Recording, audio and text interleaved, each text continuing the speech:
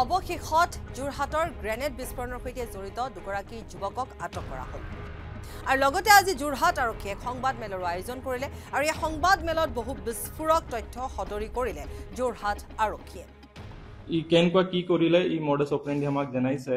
দুটাৰি handler जो আছে উলফাৰ পৰা এক্টিভ কাৰ্ডাৰ আছে কনক গগৈ এলিয়াছ অভিজিৎ গগৈ এলিয়াছ আইসেং অসম অম্বিকাপুৰ ওৰ হয় এইটো। ই দুটাকে হেণ্ডেল কৰি ভায়া টেলিগ্ৰাম চেনেল और Facebook messenger S P Mohanlal মীনাই বহু বিস্ফোৰক তথ্য ইতিমধ্যে ইয়াত সদৰি কৰিছে। তাৰ ভিতৰত দেখিবলৈ পোৱা গৈছে যি ধৰণে যোৰহাট আৰক্ষীয়ে কেইবাগৰাকীও যুৱকক লৈ এক ৰাডাৰ তৈয়াৰ কৰিছিল। সেই মৰ্মে আগবাঢ়িছিল আৰু সেই কৌশলেৰে আগবাঢ়ি দুগৰাকী যুৱকক আটক কৰিবলৈ সক্ষম হৈছে।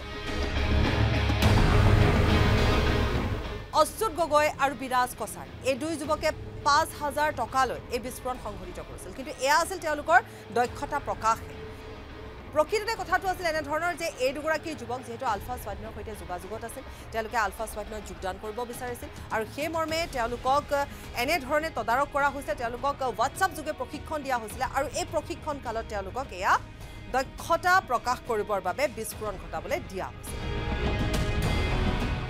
আইচেং অসমৰ নেতৃত্বত এনেধৰণে তেওঁলোকক বিস্ফোৰণ ঘটাবলৈ দিয়া হৈছিলে। কিন্তু শেহতীয়া কিছু তথ্য অনুসৰি যদিহে তেওঁলোকে এই বিস্ফোৰণ নঘটালেহেঁতেন বা তেওঁলোকে হয়তো আলফা স্বাধীনত যোগদান কৰাৰ যিটো তেওঁলোকৰ পৰিকল্পনা আছিলে সেই পৰিকল্পনাৰ পৰা তেওঁলোক যদি উভতি আহিলেহেঁতেন তেতিয়াহ'লে তেওঁলোকক ভাবুকিও প্ৰদান কৰা হৈছে বুলি শেহতীয়া কিছু তথ্যত জানিব পৰা গৈছে। আৰক্ষী সূত্ৰত প্ৰকাশ।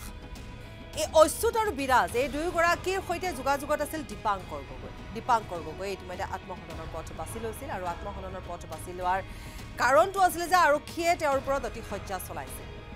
আৰক্ষীয়ে তেওঁৰ মোবাইল ফোন জব্দ কৰিছিল আৰু সেই মোবাইল ফোনত আৰক্ষীয়ে কিছু তথ্য পাইছিল। কিন্তু সেই তথ্য প্ৰকৃততে দীপাংকৰে ডিলিট কৰিছিল। তাৰপিছতে আৰক্ষীয়ে অনুসন্ধানৰ বাবে সেই তথ্যখিনি ৰিট্ৰিভ কৰিছিল। ৰিট্ৰিভ কৰোঁতে আৰক্ষীক সময় লাগিছিল। এতিয়া পৰিয়ালৰ লোকে কৈছে যে তেওঁ যদি দোষী আছিল তেওঁক কিয় গ্ৰেপ্তাৰ কৰা নহ'ল তেওঁক কিয় চাৰিদিন ধৰি জেৰা চলাই থকা হ'ল? কিন্তু আৰক্ষীক সময় লাগিছিল কাৰণ আৰক্ষীয়ে যিহেতু সেই ডিলিট হোৱা যিখিনি তথ্য আছিল সেইখিনি ৰিট্ৰিভ কৰোঁতে আৰক্ষীক সময় লাগিছিল এদিন সময় আৰু লাগিছিল।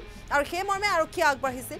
তেওঁক বাৰ ঘৰত আহি থৈ দিয়া হৈছিলে। আৰু ঘৰত যেতিয়া তেওঁক থোৱা হৈছিলে সেই সময়ছোৱাতে তেওঁ কাৰ সৈতে যোগাযোগ কৰিছিল সেই সন্দৰ্ভতো আৰক্ষীয়ে সকলোখিনি খবৰ ৰাখিছিল। দীপাংকৰ গগৈ এলিয়াছ টাইচেং অসম তাকে ফুচফুচৰ কাৰণে মাতা হ'ল।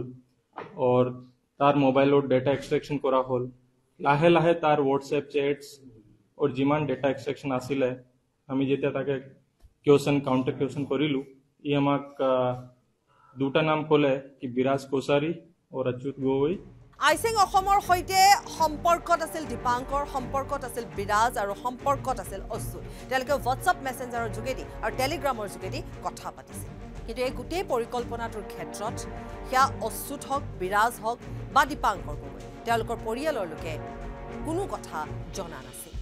আমি এই বিষয়ে একো নাজানো। সন্ধিয়াত আহিছিলে ছাৰহঁত আহিছে। ছাৰহঁতি মই সুধিছোঁ কি হ'লনো? সেইবোৰ আপোনালোকে গম নাপায় হেৰি বুলি ক'লে। নাপায় বুলি কৈ ভিতৰলৈ তেওঁলোকৰ ভিতৰলৈহে সোমাই গৈছে ডাইৰেক্ট। আপোনালোকে গম নাপায় বোলে আমিও গম নাপাওঁ বাৰু বোলো হেৰি বুলি ক'লোঁ।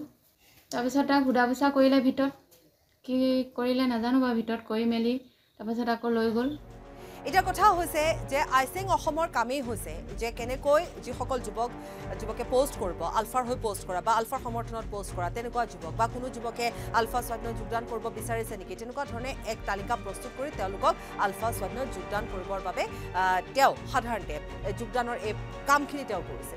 ই মেইনলি ৰিক্ৰুটমেণ্ট কৰে উলফাৰ কাৰণে। ৰিক্ৰুটমেণ্ট কৰে আৰু তাৰ কাৰণে মানুহকো আহ, বহুত প্ৰলোভন দি পেলাই এই সব এক্টিভিটিজ भी কৰায়